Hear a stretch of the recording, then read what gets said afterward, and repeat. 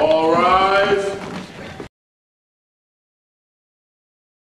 Hello, I'm Mark Curry, a retired trial court judge with more than 34 years of experience with working in the courtroom. In this video, I'm going to be talking about the topic of cross-examination. It is arguably one of the more difficult trial skills for trial lawyers to master, but in this video, I'm going to be going over the fundamentals, the nuts and bolts of cross-examination, including how to prepare for it, some strategies and tactics of how to do it, and my own trial tips uh, based on my years of experience working in the courtroom. And I think this video will be very helpful for law students uh, learning trial advocacy and also for trial lawyers preparing for trial who want a refresher on the fundamentals of cross-examination. Let's get going. Good cross-examination can help win cases. In fact, during my career, I've seen many cases where um, a, a, lawyer does a great job on cross-examination, undermines the credibility of the witness, which helps uh, win the case, both civil and criminal matters. However, um, there are some perils associated with it um, that you should take heed of before you contemplate and start thinking about cross-examination. Um, I think it's worthwhile taking a few minutes to um, just see what some of the former experts in the area have said. John Henry Wigmore, who is the original author of a treatise of evidence, uh, he was a professor of law, wrote, quote, Cross-examination is the greatest legal engine ever invented for the discovery of truth. You can do anything with a bayonet except sit on it. A lawyer can do anything with cross-examination if he is skillful enough not to impale his own cause upon it. Louis Nizer, who was an author and also a uh, former trial lawyer, wrote, Cross is not a fishing expedition in which you uncover new surprises at trial. In cross-examination, as in fishing, nothing is more ungainly than a fisherman being pulled into the water by his own catch. Now the takeaway from these admonitions is that you should approach cross-examination cautiously and deliberately. And in a few minutes, we're going to talk about preparation and having a strategy and a plan. And that is the key um, to success. You need to know what you're doing, be prepared, and have a strategy and a plan and follow it. So let's take a moment and talk about preparation. Uh, one of my first trial tips should be obvious, and that is that the lawyers who uh, do the best on cross-examination are generally the most prepared. In this day and age of, of discovery, both in civil and criminal arenas, uh, the days of the surprise witnesses are long gone. Through the, the discovery statutes, prior to trial, you should know uh, who your witnesses, who your opponent's witnesses are, the substance of their testimony, and that gives you a good start on how to prepare. Obviously, in civil cases, many of the witnesses may have been deposed previously.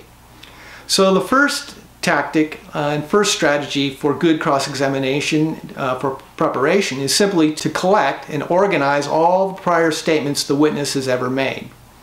And uh, this might include, in criminal cases, statements to police officers, uh, maybe eyewitnesses at the scene, anything that the witness said in a prior statement should be collected and, and be made available for your preparation.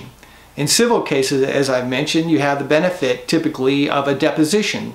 So you have that available to you. But the, there could be many other sources of witness statements, including statements to doctors at a hospital, ER nurses, uh, police officers, as, as I've already mentioned. You, you basically want to know everything the witness has ever said prior to the day of trial.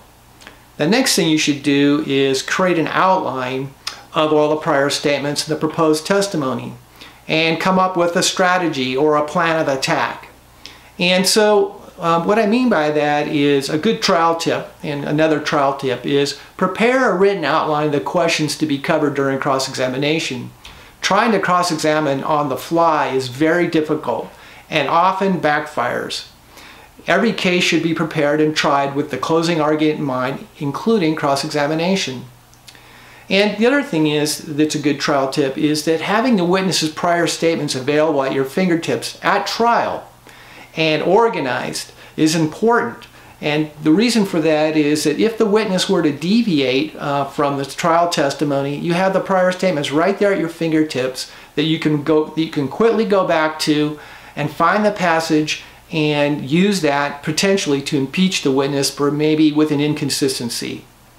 Um, in civil cases, often big civil cases, the lawyers have the prior, the prior statements of the witness, for example, a lengthy deposition, uh, tabbed, highlighted, and maybe even with an index, so that every statement, every topic can be found quickly. And this is really the, the legwork that goes into preparation for cross-examination before you ever uh, get to the courtroom. Now, so the bottom line is then is that no cross-examination should ever begin unless there is a strategy or plan. Too often in my experience, I've seen lawyers commence their cross-examination with, with seemingly no real plan or strategy. Um, some lawyers just cross-examine because they think because they want to or because they think they should. In a few minutes, we'll be talking about the idea that if there's nothing to be gained by the cross-examination, um, the, the lawyer should just say, no questions, Your Honor, and move on. But some lawyers have a hard time saying those words. So when you're thinking up a strategy of how to cross-examine a particular witness, um, you can think of it this way. There are basically several um, important reasons why you may want to cross-examine a witness. One would be to undermine the credibility of the witness. Um, two might be to establish facts that are helpful to your case or harmful to your opponent's case. And three, one, uh, the third reason to cross-examine a witness might be to help clarify what was said on the direct testimony and um, again, the last uh, bullet point here, again, if there's nothing to be gained, no questions, Your Honor. One, one um, important trial tip I'll give you right now is that, um, it is, is as follows. A rehash of the direct testimony is not good cross-examination. What I mean by that, your strategy shouldn't be to just go back in and go over what the witness said on direct examination if it doesn't help you or if it hurts your case. Your strategy should be to only focus on very specific areas of what was said on direct that's, like I just said, that undermines a witness's credibility, helpful to your case, harmful to your opponents, or makes helps clear something, uh, clear up something. If none of those, if there's no, if there's nothing to be gained by the cross, again, no questions, Your Honor. So, in preparing again, is uh, you have a witness and you know what the witness has said now. Uh, you've gone over and organized everything and you're you're getting close to trial and now you need to come up with where what areas you want to cross-examine the witness about. And so a good way to think about it is there are basically in my view four separate distinct areas that you might want to consider cross-examining a witness about that might help to impeach the witness. Now I put up there evidence code section 780 and that is because in California they've actually um, in, this, in a statute made a laundry list of factors that jurors are told to consider when determining the credibility of the witness and that might be a good place for you to look. Maybe others uh, at jurisdiction have a similar list in their jury instructions that, that are told to the jurors. But when you're preparing, it's a good place to look to see if there's what areas you feel might be fertile ground for cross. So let me just quickly go through the four areas um, that can be very uh, good, good areas to cross on. One is perception and memory. So basically what you're doing here is you're not calling, you're not really attacking the witness as a liar or anything like that. You're really just attempting to show to the jury or to the court if it's a bench trial that the witness may have made a mistake, that their perception of the event was somehow skewed or wrong, or that their memory of the event uh, is not accurate. As we all know, people observe things and see them differently. And so memory perception uh, is a very common fault of all witnesses coming into the courtroom, and you want to highlight that with your cross-examination. For example, um, you may want to ask the witness and cross the witness about their mental state. Um, and that might include were they had they been using any drugs or alcohol at the time in other words were they intoxicated were they under stress the age of the witness might matter you know, if it's a very elderly person or some person that has mental or cognitive issues that might affect um, memory and perception, that might be fertile ground for cross right there. Anything that would show a deficiency. One thing I want to just talk about here, kind of taking a side note, and I've noted, I'm calling it here memory getting better. better. So if you've been a trial lawyer for very long, you would you probably have seen this happen and that is the witness takes the stand and previously they've given statements where they didn't remember things. For example, let's suppose they were deposed um, a year before trial or six months. And during the depositions, they were asked very specific questions and may have said, I don't remember, or I don't recall, or their memory is hazy.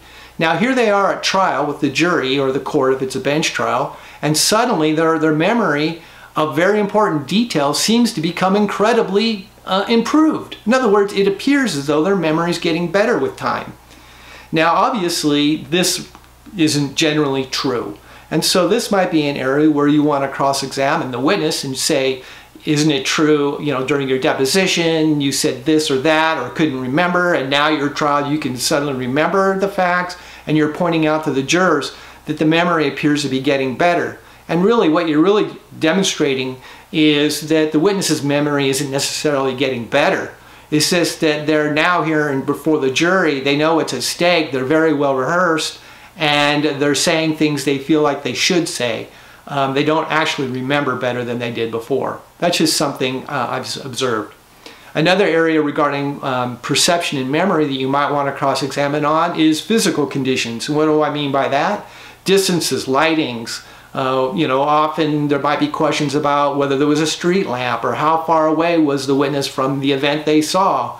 And in, in, as we get down a little more discussion, you'll, you'll see that's why I uh, often recommend the use of aerial photographs or diagrams to have the pin the witness down about where they were. You know, were there any obstructions? Um, you know, the witness may have said, uh, what I've seen a common thing happen is a witness will be asked on the stand, how far away from the intersection were you? And the witness will estimate, oh, you know, about 50 feet maybe and then you bring out the aerial photo that maybe has a you know shows all the exact dimensions and you show through cross and use of the aerial photograph of the intersection, a Google map or something, that the witness was actually 150 feet away rather than 50. So you've undermined the witness's ability to perceive accurately there. So those, um, these are areas that you can cross-examine a witness regarding perception and memory. Now, a second area that can have good results for cross-examination has to do with bias or motives. Uh, uh, you want to show a motive, and often this has to do with relationships. Say, for example, the plaintiff is the husband and the witness is the wife. Um, just by establishing that relationship might tend to show that her testimony is skewed and biased in favor of her husband. Um, also, um, motives um, might show the witness is not being truthful. Um, one good motive that often comes up in civil trials is monetary, um, that the witness is getting paid or has some uh, motive or incentive for testimony uh, that may help skew their testimony. And what comes to mind is experts. I have a whole chapter dealing with the cross-examination of experts in my handbook that we'll talk about in a few minutes. So showing a motive or a bias is a good area, fertile ground for cross-examination. A third ground uh, for cross-examination um, I call inconsistencies. And this is where you're showing the jury, jury that what the witness is saying now on the stand is differ, differs in some way from what the witness said earlier. And this is very common in a trial or a hearing that you'll have inconsistent statements um, that the witness said A to a police officer, may have said to a police officer, officer at the scene of an accident that uh, she thought her light was green, but she wasn't sure. And now when she comes and takes the stand, she's positive it was green. So there's an inconsistency, a changing, if you will, or a, a kind of um, uh, an amendment of, the, of their statement. So again, inconsistent statements can really undermine a witness's credibility and that's one of the reasons you would cross-examine cross-examine. Through the tactics we'll be talking about in a few minutes you would have the witness admit that they made the earlier statements pin them down of what was said earlier and then confront them with the inconsistency of how now um, they're saying they said A and now they're saying B. So showing an inconsistency or an inconsistent statement is a good way to undermine witness credibility the last area I feel is important that you could use for cross-examination is called the, I call the character for truthfulness. And that means often in trials, there's something in the witness's character or background that you may want to cross-examine the witness about that's relevant to truthfulness or untruthfulness. And what comes to mind immediately, often in criminal cases, is if the witness has a prior felony conviction, for example.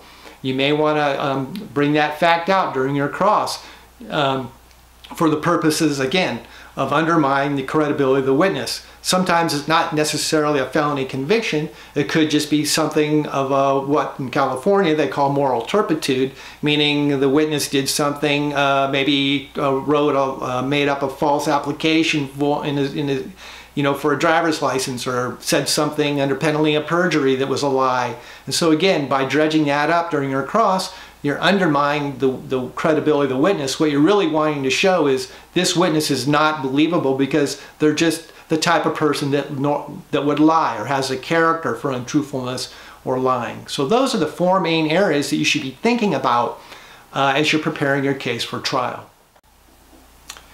All right, so when coming up with a strategy or a plan for your cross-examination in general, it's been my experience that generally the shorter, shorter the cross-examination, the better. In other words, keep it relatively short and concise. Many times I've seen uh, trial lawyers go on for hours or hours and days and days on cross-examination. And what happens is you lose the jurors. You're up against what I call the game clock, which is the juror's limited attention span. And so after three or four hours of good cross-examination, you'll start to see jurors yawning, looking at their watches, staring up into space, which, you know, they're thinking about when the break is, how much longer. And whatever good points you wanted to make or you did make were lost because you've lost the jurors. And even as a judge, it's difficult to pay attention for hours and hours and hours to the minute details that might be important on cross-examination. The other thing about cross-examination when you're thinking about uh, designing it and coming up with a strategy is to keep it flowing in some linear method. In other words, there needs to be a logical progression of the questioning where you go from point A to point B. Uh, too many lawyers skip around and digress they'll start down one path and then change course and go down the other. And we go back again, that you lose the fact finder. It's the jurors, it's the court, needs to be able to track what you're doing and follow your logic. And so there needs to be a logical progression to the order of your questions going from point A to point B. Um, here's a trial tip. Um, good cross-examination first locks the witness down on uncontested facts to prevent an avenue of escape and then moves on to the more contested issues. And this is another way of saying of going from general, the general, to the specific. So, for example, let's say you're cross-examining a witness about an inconsistent statement.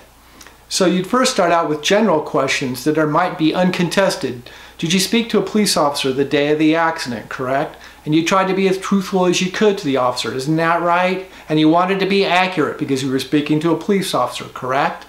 And you're laying down the foundational facts, so to speak. And then you move on uh, with, as your question goes on, once you've laid down the general facts, to the more specific questions about the fact that now in court you're saying something inconsistent with what you said to the police officer. So what that does is it tends to kind of lock in the witness. You're surrounding the witness essentially with a wall of foundational facts to, to prevent an avenue of escape. So in the, in the example I just gave of the inconsistent statement, the avenue of escape could be, well, I didn't understand what the officer was saying, or he put words in my mouth, that kind of thing. So when you start out first, before you, you go to the con confronting the, the, the contested facts, you, you, you cement in the witness on all the uncontested facts to prevent that avenue of escape. Um, another trial, another strategy or tactic some lawyers uh, use for cross um, is that you start at the weakest or the most vulnerable point of the, of the witness and uh, right out the, the, the, gate because that's when the jurors are most um, attentive. And let's say that there's a major inconsistency that might even show the witness is being untruthful. Um, before you get into perhaps other areas of cross-examination, you might just come out and, um, and go right for the, the inconsistency, right up the front end. And when you do that, it often causes the witness to tighten up uh, and to, uh, to react defensively often. And often when witnesses act defensively, it works in your favor because the jurors are watching that and it tends to undermine their credibility. The other thing about coming up with a strategy or a plan as you're going through your cross-examination, and this is where I have a red caution. Whenever I put anything in red, it means it's really, really uh, something you should pay attention to. And that is um, caution regarding the unknown. Too many lawyers during their cross-examination uh, tend to First, one, one mistake they make is they ask one question too many. Now, I've seen this happen repeatedly over and over, and I've been guilty of it myself when I was a trial lawyer. You score some great points on cross, you've established an inconsistency or some weakness or relationship that might show a bias, and but you ask that one question too many, and suddenly the witness gives an answer that blows you right out of the water that you weren't expecting. Um, it's similar uh, a, similar caution is what law professors taught teach all the time in law school about don't ask a question you don't know the answer to. And it's surprising to me as a trial judge that's seen this over and over that regardless of that admonition that the trial lawyer knows, they still do it. It's relatively still frequent in the courtroom where the lawyer just has to keep going, is tempted, wants to just go for the, the coup de grace, so to speak, and keeps asking questions and ventures into an area of unknown and suddenly the witness gives you an answer you weren't expecting and usually the witness, the unexpected answer is not friendly to your case. So one trial tip I have here is stick to your planned objectives and when you achieve those objectives, sit down. In other words, quit questioning. Don't be tempted to go for the coup de grace, save it for argument. What do I mean by save it for argument? I mean that you might be you might score some great points or uh, um, you know elicit some good facts that'll help you that, that would tend to show the witness perhaps has a bias or made an inconsistent statement. Um, but rather than confront the witness with, with it, hoping that maybe the witness would admit it, and remember in real court there aren't any quote Perry Mason moments. Uh, you'll hardly ever see a witness say, yeah, you got me, I lied, or yeah, I, I admit I made a mistake.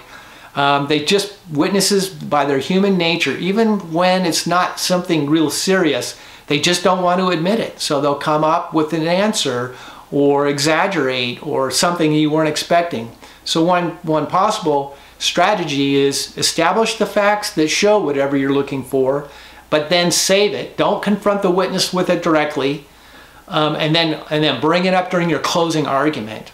And when during your closing argument, you can, when you point out to the jurors how the witness made an inconsistent statement, should not be believed, or, or was lying when they testified, the witness isn't there to talk back, so to speak, and you have argument to lay it out.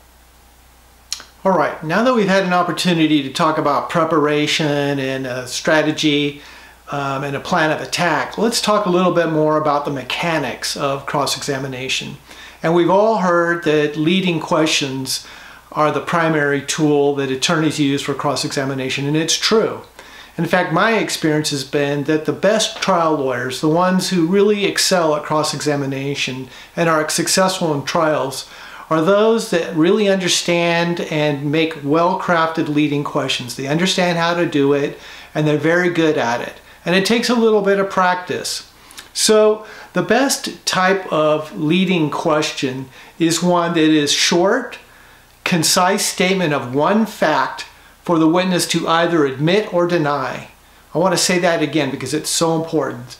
It's a short, concise statement of fact, of one fact, for the witness to either admit or deny. The objective of the leading question is to require the witness to only answer with a yes or no without any further elaboration, any further explanation or or to prevent the witness from giving you, giving you any unrequested information. And the way that the, a good leading question um, is generally um, formed with use of what we call taglines. And taglines basically are just short little statements uh, that go at the beginning or the end of your statement of fact. Let me give you a couple of examples here. Um, let's say this involved a traffic accident um, case, maybe a personal injury case, and it was um, contested who ran the red light causing the accident. accident. And, the wit and a witness is on the stand. So um, a, a tagline at the beginning of a question could be, isn't it true the traffic light was already yellow before you entered the intersection? And the witness would say yes or no. A tagline at the end could be, the traffic light was already yellow before you entered the intersection, wasn't it? Or isn't that true? Or correct? Or right? So basically you've taken the same fact, the same proposition, and you've either had the tagline at the beginning, isn't it true? And then you ask the question, or it's at the end. Um, some lawyers are good at mixing it up because um, it gets a little bit monotonous to always ask the same tagline over and over again. Some lawyers are good of um, asking questions that require the witness to only answer with a yes or no, but not actually using a tagline. It's just with the inflection of their voice. The light was already yellow as you approached the intersection, and just by the tone of their voice, the witness understands that's a question, says yes or no. Um, some attorneys will say, would you agree with me that the light was already yellow as you approached the intersection? So that requires a yes or no. The absolute key to success for any um, leading question is that it has to require the, it must require the witness to just say yes or no. When you're forming up your leading question, uh, make sure it's not confusing. Some lawyers um, have difficulty getting it out and they'll make it a little bit confusing or um, sometimes they'll accidentally um, use double negatives. For example, is it not true the light was yellow as you approached the intersection, correct? And so um, that's very confusing for the witness. And you may even get an objection, Your Honor, objection, Your Honor, vague and ambiguous, um, or objection, Your Honor, compound question. So a trial tip in this regard is that the most common technical problem associated with poor cross-examination is simply that the question is too long. Generally, the shorter statement of fact, the better. And practice. What do I mean by practice? So when you're not in the courtroom, um, just practice using leading questions. I mean questions that require the witness to say only yes or no, that don't allow the witness to give you anything further beyond that. And the good way to do it is just take a, a, spouse or a friend or an associate and ask some leading questions about something that you know about, maybe a trip to the grocery store or something like that, and walk them through everything that happened just using leading questions, and you get used to it. And so that's the key. It takes some practice. Um, it's not that easy to use good leading questions because as you're going to see in a few minutes, we're going to be talking about witness control because a lot of witnesses aren't just going to be roll over and be compliant, say yes or no. Um, they're going to want to add further things. They're going to not answer your question. And you're going to have to know how to deal with it. But the first key is you have to ask a good question that only asks and only requires a yes or no. Now let's talk about um, things not to ask in a leading question. And again, we're back to the red caution flag. And uh, because there are certain words or phrases that you should never ask if you're asking a leading question about a controverted or contested fact. And the two words I that stick out in my mind right away are any question where you ask the witness to say uh, that you have the words why or how. And so if you ask a witness why something happened or how it happened, or if you ask a witness to explain something, uh, or if you ask the witness to make an opinion or what the, what, what the witness thinks about something, um, if you ask any, any question to the witness that permits the witness to go beyond saying yes or no, then you've lost control. That's a poor leading question. And what's going to happen is the witness is going to give you some answer you don't like and there's nothing you can do about it. You can object, uh, objection, Your Honor, non-responsive, and the judge is going to overrule it because you asked the question. You asked why, counsel. In my experience as a judge, I can't tell you the number of times I've seen attorneys cross-examining a witness and they're doing a good job. They're scoring points, the witness is going along, yes, no, yes, no, uh, good cross-examination. But then the attorney um, slips in a question like, well, why did you do something? Well, why did you think the light was not operating correctly? And then now, when you ask a why question or a what, or ask a witness to explain or to give an opinion, the witness now can virtually say anything. They've got carte blanche, um, the green light to just lay it out there and they're going to give you a bombshell. They're going to give you something you don't like. They're going to give you something that probably hurts your case. And this is one of the times, as uh, Professor Wigmore um, warned, that you could impel yourself on your own cause because you asked a poor leading question. You ask a witness why something happened. So don't do it. And uh, so the kind of a trial tip in that regard is the why or similar question will derail your cross-examination and permit the witness to respond at will with testimony which is usually not helpful to your case. Now I want to talk a little bit about non-leading questions um, because sometimes I think they're overlooked. Um, cross-examination, you're not always going to be asking leading questions. Sometimes non-leading questions are useful to help clear up uh, the direct examination. Maybe there was something the witness said that was a little confusing during the direct that you want to clarify. And um, so a trial tip is open-ended questions can be helpful to, to quickly resolve less controverted matters. Now, when you use a non-leading question, you're now allowing the witness to pretty much answer more than a yes or no. So you need to be confident that whatever the answer the witness gives you is not going to come back and hurt you. It's not harmful to your case. But sometimes you just need to clear up things. It's not, it might, be, might not even be a harmful area, just maybe a distance or a location or something rel relatively innocuous, but you feel you need to clarify the direct examination. So non-leading questions are good there. Now, here is where I really feel non-leading questions can be very helpful to your case, and I call it the extraction of extreme detail. And um, the devil in the detail is a good is an adage that experienced trial lawyers know well. And the tactic here is when it appears that the witness is giving a patently false story, maybe a complicated alibi, or maybe a, a fantastic story, or coming up with a lot of detail, and you believe it's completely made up um, um, so what a good tactic uh, could be to start asking the witness to give very extreme detail down to the minutia, the, the, the, every minute of the, the actor's motion or something. Um, and when you start extracting detail of that, um, often if the witness is literally fabricating a story, they've kind of come up with the general lie. They try to incorporate much truth as they can, but if you pepper them with questions about minute detail, now they have to almost come up, uh, lie on, uh, you know, as it's coming. And this is where they can trip up and uh, make inconsistencies uh, that might be helpful to your case.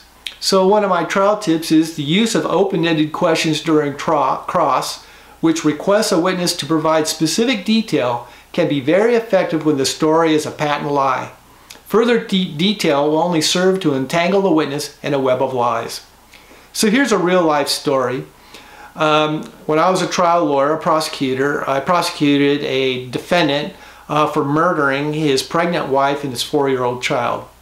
Now the defendant at that time had a complicated alibi and he took the stand in his own defense uh, during his trial and so I had the privilege to cross-examine him.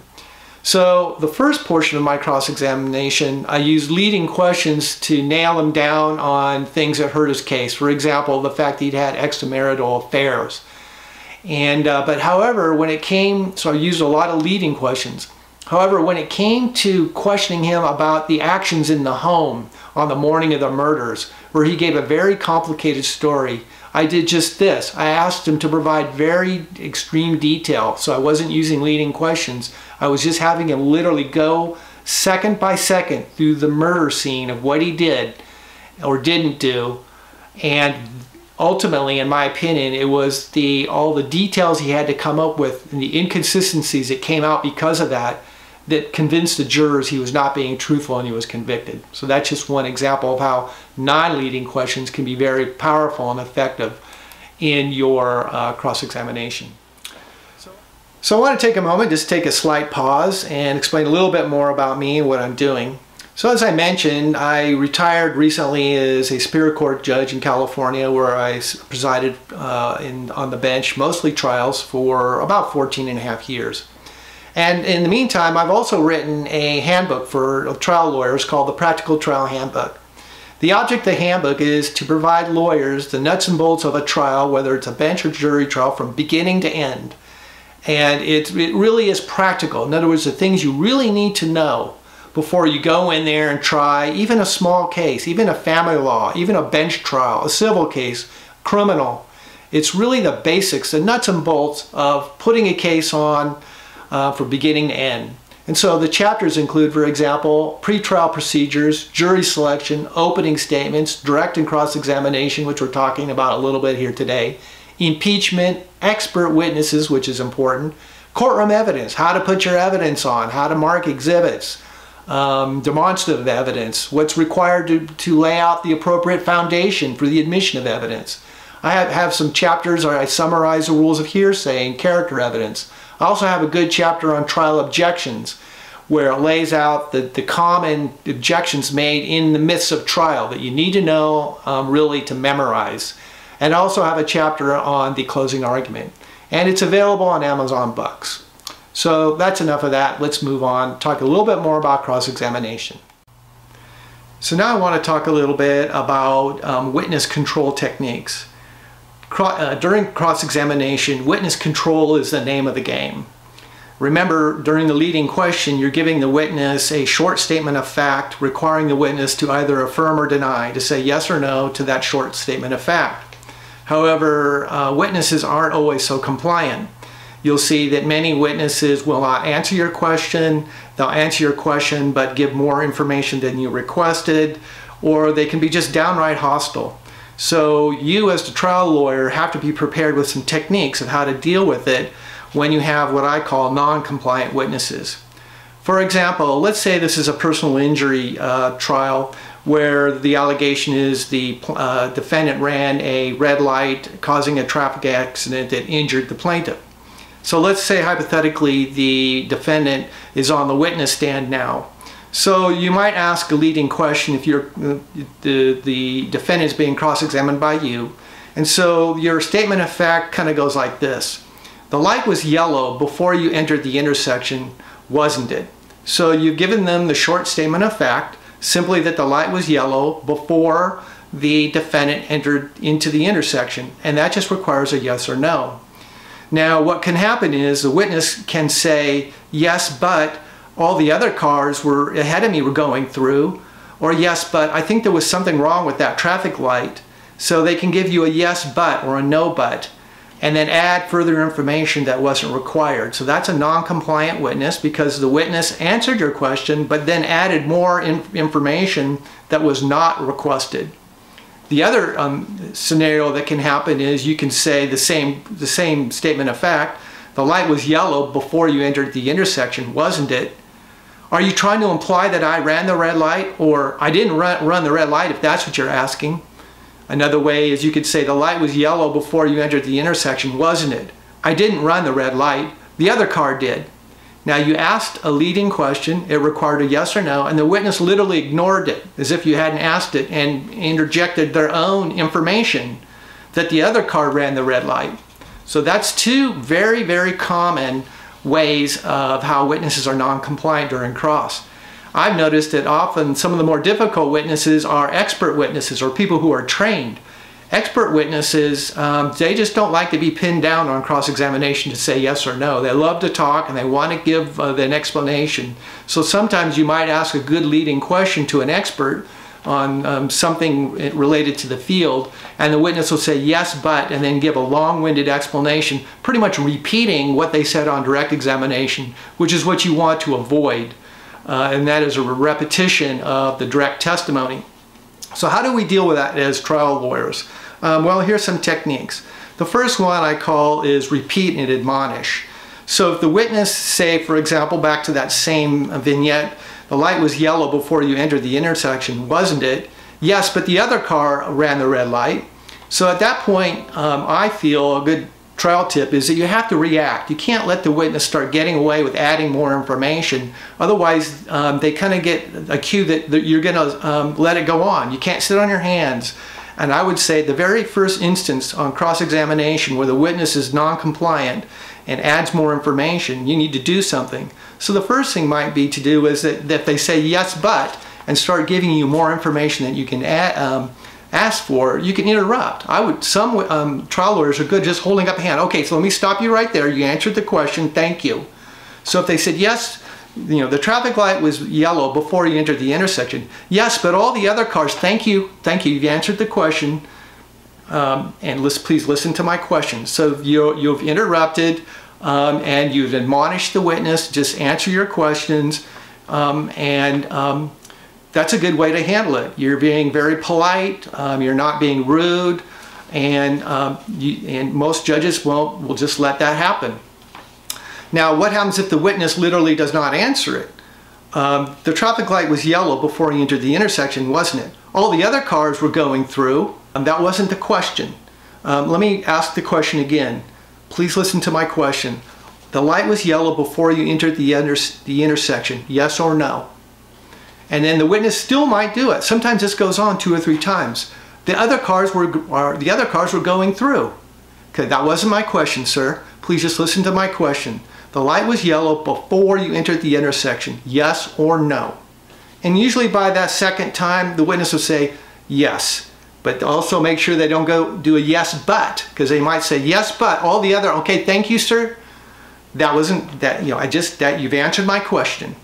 And then move on to your next question. So the first objective is, uh, the first um, uh, witness control technique is just you're handling it yourself. I call repeat and admonish. Um, be be professional, but you gotta uh, use a hand if you're not uh, very effective. Hold up, thank you, sir. If you could stop right there, thank you, um, and, and, answer the question. Now, some witnesses are still not going to respond to that. Um, you're going to run up against many witnesses who are, um, even with your interruption, repeating it, they continually either don't ask, answer your question or ask, answer it with more information. So the next thing to do, uh, the next level of um, strategy is to make an objection. It's a proper uh, legal objection in nearly every jurisdiction of uh, the proper objection is non-responsive. Objection, Your Honor, non-responsive. So if the witness said um, yes, but the other cars were running the inter were also um, going through, you can say objection, Your Honor, non-responsive. I move to strike the answer after the his, after the word yes. Um, typically, in jurisdictions, if there's been some answer given, it, you're required to make a motion to strike. Otherwise, it could remain on the record as far as the appellate court is concerned. So um, again, if the witness answers the question but adds more information, objection, Your Honor, um, non-responsive, I move to strike the answer after the word yes, if, if that's what you wanted. The same principle applies if the witness just didn't answer the question. The light was yellow before you entered the intersection, wasn't it? Well, all the other cars were doing it. Objection, Your Honor, non-responsive, I move to strike the answer. Now what can typically happens is that if you make an objection the judge sustains it, uh, the witnesses generally will often fall in line now because they see that they kind of see where you're going with it. They, they see that you're a type of an attorney that won't let them get away with it and they become more compliant. So in that respect, um, your objection worked. Um, sometimes you, you'll find with particularly difficult witnesses, very hostile witnesses, that this it can be difficult be like it can be like pulling teeth to get them to answer your question and give a straight answer without adding more. And so the next level you could go to even if you've objected the judge has sustained your objection but you're still having trouble you could ask for court assistance. Your honor would the court um, admonish the witness to please just answer my questions? Um, now some judges different judges have different views on this if it's just a, if this just happened a couple times, usually the judges, uh, at least how I dealt with it, I didn't really want to get involved between the witness and the attorney during cross. Uh, but if the witness is just definitely being um, uh, uh, very obstructionist, in other words, the witness is deliberately not answering the questions, and I get that feeling, um, I will lean over and look at the witness and say, just answer the questions, or please listen carefully to the questions and just answer counsel's questions. Thank you. Um, and when the judge interferes like that, um, even if you, the cross-examiner, aren't really scoring a lot of points as far as factually, you definitely are scoring points as far as how, how the jury uh, look uh, towards the witness because the witness is being totally uncooperative. And so you're clearly um, making points in the sense that you're showing how the witness is being um, is biased or uh, unfriendly to your case. And that usually undermines their credibility. So those are um, some tips again of how to deal with uh, witnesses who are non-compliant. Again, repeat and admonish, interrupt if necessary, make an objection, objection, Your Honor, non-responsive. If the witness made an answer, move to have it stricken. And lastly, um, don't feel shy about asking the court for assistance if the witness is just being hostile and non-compliant. Now, I want to give a caution here, however, about when you object and asking, you know, object non-responsive. And the caution is this, because this, I've seen this happen a lot, and I've, I've overruled the objection. And the reason the court might overrule your objection is because you asked a very poorly worded leading question. So remember when we talked about leading questions, I said it has to be a simple statement of fact requiring only a yes or no. But if your question allowed any wiggle room, if it wasn't well phrased, if it if you asked why, or if you gave the if you asked a compound question or made it such that the witness couldn't say yes or no, the judge could feel that you that you didn't really give the witness an opportunity to answer and that the answer required more than just a yes or no. And the judge may overrule your objection. Overruled counsel, the witness may answer. And now you kind of look like the bad guy because you made an objection uh, to the witness. Um, so be cautious and careful that your question is framed such that it only requires a yes or no. And remember, um, the, the most common error is that your question is simply just too long or it's compound or it's vague and ambiguous. And this is where it really takes a lot of practice to make a good leading question. Um, here's a trial tip. Um, some, law, some attorneys maintain good uh, witness control merely by the tone of their words and the simple act of raising a hand to signal the witness to stop. Let me stop you right there. The question was, and then you repeat it. Um, it, it pays to remain polite, but be firm. Again, the witness needs to know that you, uh, the trial attorney, is in control. And once you've got good uh, control of the witness, your cross-examination will go a lot smoother. Now here's a couple more things I've uh, noticed uh, that might be helpful, uh, kind of a tip to you cross-examining a witness of things that can happen in the courtroom. Um, sometimes uh, witnesses will actually talk back to you. Um, and some attorneys seem unsure how to handle this. For example, if the question was again, the light was uh, yellow before you entered the intersection, wasn't it? Are you trying to say I ran the red light, counsel? Or I've already answered that. Do I have to answer that again? Or you know they say some comment back to you. Um, so my uh, um, view is when the witness does that is don't respond. Uh, because if you begin to engage the witness, then it sucks you in, so to speak. And I've seen witnesses kind of, uh, I've seen attorneys kind of stoop to the witness's level, and it looks unprofessional. So if the witness really is, um, uh, I would just ignore it and repeat the question. And again, go back to the tact that if the witness isn't answering your questions, ask the court for assistance. Your Honor, would the court admonish a witness to please just answer my questions? The other thing to be careful about when you're cross-examining a witness is your tone and demeanor.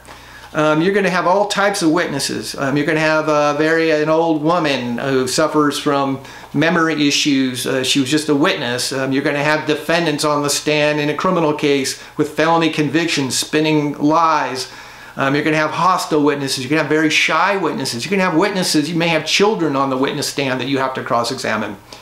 So the key is you need to um, uh, the tone and forcefulness of your examination uh, has to depend on the type of witness, the nature of the witness. So what I mean by that is you can't attack uh, the 80-year-old or the child with uh, questions with such forcefulness or tone that you're accusing them of lying or um, you, you, know insinuating that they're making up a false story or just seeming to be rude and forceful to them. And the reason for that is you don't want to off-put the jurors.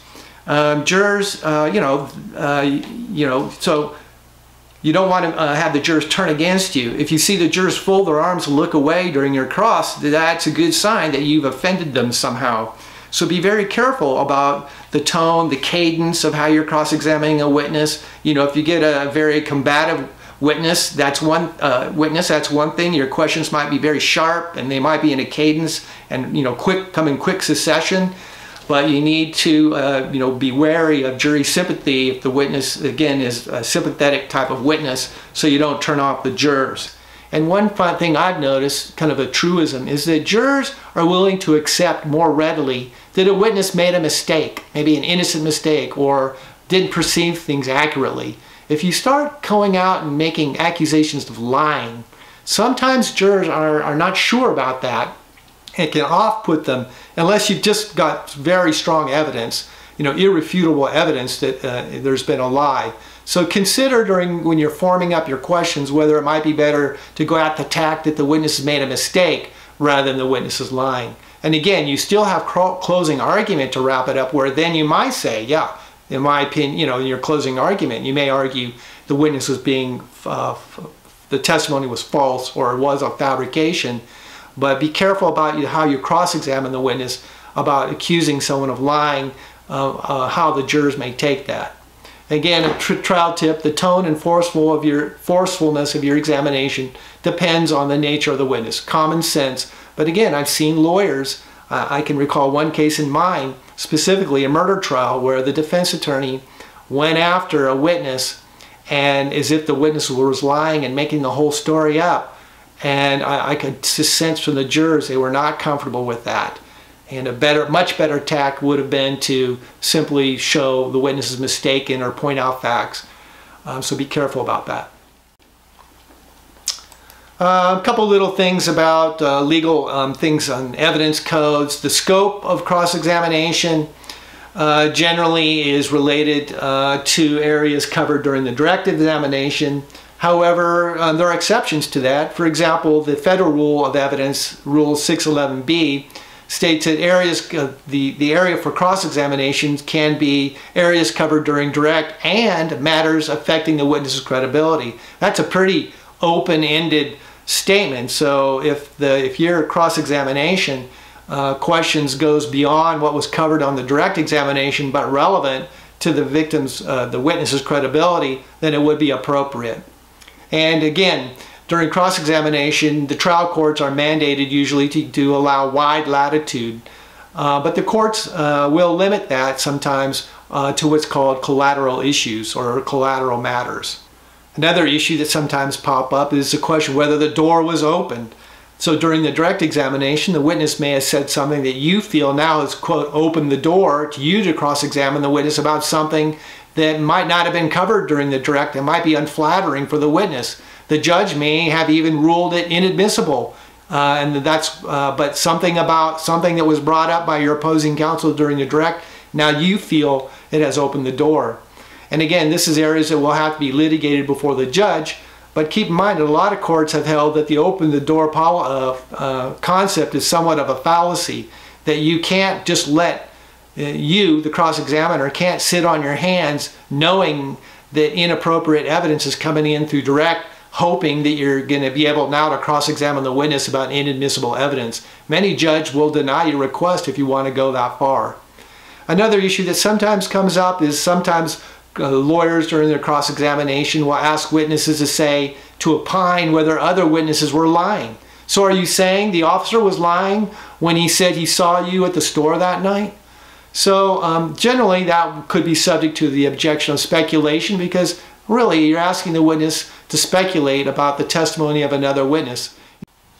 Well, this pretty much wraps up um, this video. Um, basically, I covered uh, what amounts to a first year law school course in cross-examination all in less than one hour, so I apologize uh, that I had to skim through a lot of information. Uh, but if this is interesting to you, if you like the video and you want more information, for example, we didn't even talk about how to cross-examine experts in much detail. We didn't talk about how to um, cross-examine a witness with an inconsistent statement um, how to lay it out, the, you know, the foundational aspects with it, um, how to confront the witness with it. So there's a lot of things, a lot more information about cross-examination that is to be learned. A lot of it just comes from good old uh, learning experience. Um, you're never really going to get good at cross-examination unless you um, do it and practice it uh, and you know do some trials, some hearings, because as we know, cross-examination is used in every type of hearing, whether it's a jury trial, a bench trial, a family law trial, any hearing where uh, witnesses are on the stand subject to questioning, you're going to have cross-examination, and the same uh, principles will apply. And that just kind of brings me to my closing remarks, and that is that we really today I just covered the basics, the nuts and bolts really of how to do it. But my experience as a trial court judge is that often the most effective trial lawyers aren't necessarily the, the, the, the, smartest ones or the most polished. They're the trial lawyers that just understand the fundamentals, the basics, and put their case on that way. And so that kind of brings me around to my handbook. The Practical Trial Handbook, as I've mentioned, what I attempted to do in that is put everything that a trial lawyer needs to know from beginning to end uh, how to put a case on competently. It's not going to make you Clarence Darrow or some great trial lawyer, but it'll get you through and you can do a competent job and you can build on that. So if you're interested in that, if you like this video, please like it. Um, please subscribe to my channel. I might do more of these videos uh, in the upcoming months on every topic. Um, if you liked it, put some comments in there and I might do more videos. Check out my handbook. It's at Amazon Books. I also have two editions. One's the uh, cites the federal rules of evidence and the other one is the California rules of evidence. And I also have one called the Criminal Trial Handbook that I did initially, uh, but that's mainly geared around California law. It, the same pr uh, principles are also covered in the Practical Trial Handbook. So again, thank you for your attention and good luck in the courtroom.